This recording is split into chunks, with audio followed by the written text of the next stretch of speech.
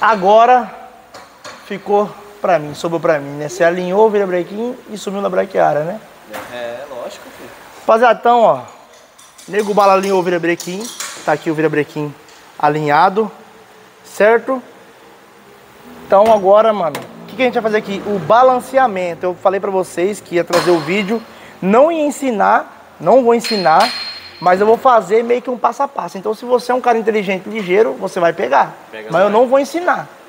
Mas se for ligeiro, vai pegar. Então, vamos começar. Primeiramente, é fazer uma pré-montagem no motor. Eu já fiz essa pré-montagem, já deixei tudo, já o cilindro na altura, tudo bonitinho, já tá pronto o cilindro. Pistão já tá torneado, então eu não vou mais mexer no pistão, já tá feito cava tudo, certo? Então eu não vou mais é, mexer, porque assim que eu fazer o balanceamento, não posso mais alterar peso em nada, nem na biela, lugar nenhum. Então o primeiro passo a gente vai colocar aqui o que, que a gente quer, vai precisar para fazer o balanceamento, ó. Então a gente vai precisar do peso do pistão, tô bem grande aqui, ó. Do pistão. Olha, eu sei escrever, mano. É, o peso da biela e o peso da massa. Já já eu explico para vocês. Então eu ponho igual aqui. Então vamos começar pelo peso do pistão. Nossa balança aqui bonita, ó. Ó, zero grama. Opa, peraí. Tá alguma coisa de errado, não tá certo aqui, deixa eu ver. Liga e zero de novo. É, porque ela tava com, com o bagulho de, de tara lá, eu acho, né? Aí. Então vamos lá. Pino. Caralho, 44 gramas pino, pino pesado da gota, hein? Trava. E o pistão já tirado, já feito pra montar, ó. 236 gramas. 236 gramas. Certo? Então estamos aqui o peso do nosso pistão com tudo, já tá com a trava, com o pino e com os anéis, tudo que vai usar. Certinho. Agora vamos achar o peso da nossa biela. O peso da biela vai ser o seguinte, a gente pôr a biela aqui meio no- na posição de desguei. Eu vou a posição de desguei, ô nego bala? Ponto. Ó, ela vai ter que ficar dessa altura aqui. Então, eu preciso de algum calço pra pôr a balança aqui, mano. Aí, rapaziada, providenciei aqui, ó. Ó. Deixar meio centralizado no centro da balança aqui. Pode ver que tá aqui. É 90 graus, qual é esse grau que fala aqui? 90 graus. Tá 90 graus. É, sim, é assim 90 graus. 90 graus, né, ó. Então a biela pesa, ó. Tá 90 graus certinho. Peso que a gente tem da biela é esse peso aqui, ó.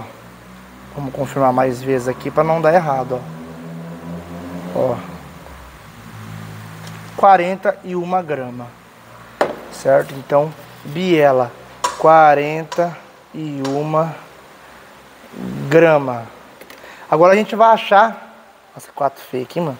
Agora a gente vai achar a massa do virabrequim. Esperar o Cauê liberar pra nós ali o, o parangolé aqui e nós já volta. Então vamos aqui, ó. Primeiramente achar a massa desse virabrequim aqui. Deixa eu só, vou ter que mudar aqui, vou pôr aqui que é mais fácil, quer ver? Não, você virou ao contrário. Vai vir assim, já vai dar, já vai dar bom? Desculpa aí, eu me- movimentei a câmera aqui. Aí, ó. Aí, Então aqui, ó, o virabrequim ele está alinhado certinho. Agora a gente vai achar a massa. O que, que é a massa, rapaziada? Ó, onde o virabrequim para, aí tem que parar em toda posição. Pode ver que ele não para, ó. Olha, voltou, ó. Olha, tá voltando, tá vendo, ó? Ficou bem certinho aqui mesmo pra não, não enganar nós, né? Ó, tá voltando. Então, vamos achar a massa adicionando peso, ó. Vou colocar aqui primeiramente um pino aqui, ó. Um pino. Ó, pendurei aqui. Certo? Agora eu vou ver se ele vai parar em todos os lugares, ó. Opa, começou a parar em todos os lugares, ó. Tá vendo, ó? Rapaz, mas tô bom no, no, no cálculo de peso mesmo, ó. E lembrando que a biela tem que estar sequinha, não pode ter nada de, lubrificação. de né? lubrificação, nada, porque senão ela engana, né? Ela dá uma travadinha. Pode ver aqui, ó. Rapaz, é nada. Eu acho que você levou um boi, isso sim. Vou caguetar aqui Nossa, que cagada. Esse, esse vira aqui tá pré-balanceado, Rick. Aí não pode. Tô louco, mano. Uhum. Você pegou meio caminho andado. Não, mas como que o cara então que balanceou esse virabrequim aqui, ele balanceou com o mesmo peso? Ele usou, ele usou um, um anel de óleo do. do Rapaz, é muita coincidência. E um pino. Esse virabrequim aqui, rapaziada, andava na minha fã há dois anos atrás. E, não, e eu não balanceava assim, não. Inclusive tem, eu acho que o vídeo dela no YouTube também. Tem o vídeo. Uns tapezinhos, né? Dela. Mano, neguinho dormiu, ó. Eu falei, ah, mas só que a biela tá travando, tá? Não, vamos ver então se a biela tá travando, então. Só, só não tô me enganando? Vamos ver. Ah, é nada, filho. Aqui o pai acertou mesmo, ó. Então, achamos a massa. O pa- parou em todas as posições. Vamos de novo aqui para nossa balanga. Zerada. 38 gramas, certo? Então, vamos aqui, ó. 38 gramas. Agora vem os cálculos, rapaziada, ó. A gente vai fazer aqui o quê? Será que você lembra, então? Mano, eu acho que eu lembro, ó. A gente vai fazer pistão mais biela e biela mais a massa. Certo? Agora eu preciso de uma calculadora. Deixa eu pegar aqui o, os iPhone aqui, ó. Outro, ó, ó o kit de câmera. Kitzão de câmera aqui. Vamos pegar aqui o iPhone, do que ele é meio escuro aqui, porque ele tem uma película muito cabulosa aqui, tá ligado? Não sei nem mexer na calculadora do iPhone, mano. Então vamos lá, ó. 236 gramas do pistão mais 41 gramas da biela. Igual aqui 277. Agora a gente vai fazer biela mais massa. 41 gramas da biela mais 38 gramas de massa. 79 gramas. Então a gente vai pegar essa grama aqui agora dividir pela soma do pistão e da biela, que deu 277. Então esse virabrequim, nossa, olha que neguinho. Esse virabrequim, rapaziada, ele está com 0,28. O que significa isso? 28% de balanceamento. Tem nesse virabrequim com esse pistão. Então se a gente montasse do jeito que está aqui, ia ter 28% de balanceamento, ia vibrar pra caramba. Lembrando que o que você está fazendo aqui é para descobrir o, que tem. O que tem de balanceamento, tá. né? Aí vai ter o processo Isso aí. de balanceamento. Agora, cada preparador que faz esse tipo de serviço aqui de balanceamento tem o seu balanceamento. Eu já fiz vários testes, eu gosto de andar com 50, de 50 a 60% de balanceamento com o balanceiro, correto? No caso desse motor aqui, ele vai usar o balanceiro. Ele é um virabrequim de fan 2009, só que a gente vai afinar um balanceiro e vai pôr o balanceiro nele. É, o balanceiro geralmente ele dá uns 40% de balanceamento do motor. Então eu vou deixar esse motor aqui com 50, 55% de balanceamento para usar o balanceiro, correto? Agora a gente tem que achar aqui agora a massa correta aqui. Rapaziada, ó, então eu cheguei na conclusão aqui que eu preciso adicionar 110 gramas junto com o peso da biela para mim chegar nos 55% que eu quero. Vou mostrar para vocês aqui. É que hum, a galera que tá chegando agora não vai entender muito bem, mas igual eu falei, eu não tô explicando. Ó, 110 mais a biela que é 41, mais 41 igual 151 dividido por 277. 277 é o peso do pistão com a biela somada. Oh, caramba, é dividir, fiz errado aqui, peraí. 110 mais 41. Agora deu certo. Dividido por 277. 0.54. 0.54, 55. Tá bom, 54 aqui é o, é o que eu quero.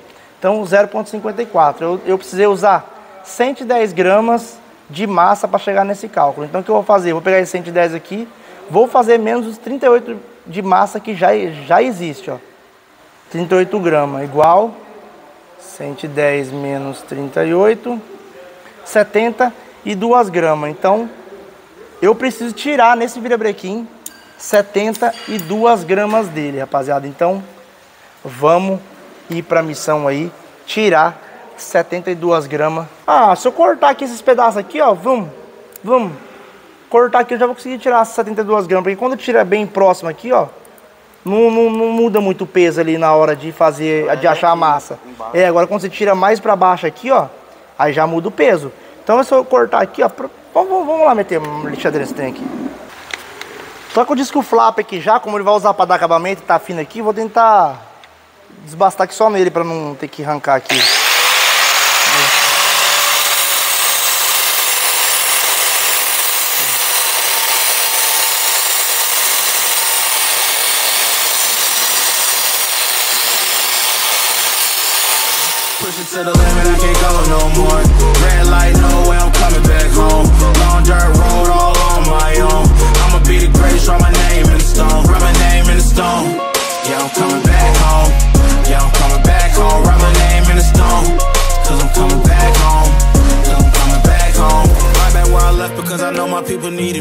Diamond in the rough, I don't know what it is Rapaziada, então eu fiz uma cagadinha aqui que foi pesar o vibrequim com a bucha. Depois eu fui tirando, tirando, tirando, pesei sem a bucha e falei, ah, chegou no peso. Aí eu fui conferir e não deu o valor de 55% que eu queria de balanceamento. Falei, caramba, a matemática não erra. Então eu achei o erro era isso. Então agora eu consertei, ó, tirei mais 21 gramas que precisava. Ó. E agora achei de novo a massa, ó. O negócio vai balangando aqui, então dá a impressão que ele quer voltar, né? Mas. Mano, a massa tá certinha. Vamos pesar aqui. Vamos fazer os cálculos. Aí. Hum. Como que virou de novo? Vamos ver então o que tem de massa aqui, rapaziada. Ó. Temos. Espera aí. 109 de massa. Na de quanto, neguinho? 110. Rapaz, então faltou uma grama. Então, uma grama, mano, mas tá certo. É isso aqui, ó. É o que eu precisava. Então, ah, vamos fazer os cálculos, não. Eu fiz com 110, mas vamos fazer com 109, vai. 109 é, mais 41, que é o peso da biela, igual 150 dividido por 277. 54% de balanceamento. Chegamos onde queríamos. Deu uma dorzinha de cabeça aqui por causa dessa bucha, mano. bendita bucha que eu tirei, mano. Mas então, isso daqui não tô explicando, não expliquei, mas se você entendeu, entendeu. Se você não entendeu, se fodeu. Vai estudar. Mesmo eu estudando, sei fazer o negócio, se perde. Dá dificuldade, quando, mano. O é, bagulho se tem perde. dificuldade. Então, rapaziada, o virabrequim está balanceado, tá bom? Olha aqui, tudo bonitinho. Vou lavar, vou travar ele aqui com uns pinguinhos só de solda aqui, ó. Aí fala, ah, mas você acabou de balancear e vai pôr solda, vai mudar. Não vai mudar porque, mano, não vai pesar. O peso da solda é diferente, mano. É, é um pinguinho aqui, um pinguinho aqui, um pinguinho aqui. É três pinguinhos só cada lado aqui, mais três pinguinhos aqui, entendeu? Não tem necessidade, tipo assim, mas, mano, olha o tamanho do pistão. E esse motor vai girar. Então você já sabe, né? Hum. Na mão do Murilo Gomes ainda, com o de gambá, tudo pode esperar. Vamos só fazer uma pré-montagem aqui. Eu não mostrei uma pré-montagem desse motor pra vocês verem ainda, né? Pra vocês verem, ó. A pré-montagem desse motor aqui. Deixa eu colocar o pistão aqui pra vocês verem. Filezinho. Beleza. Ó.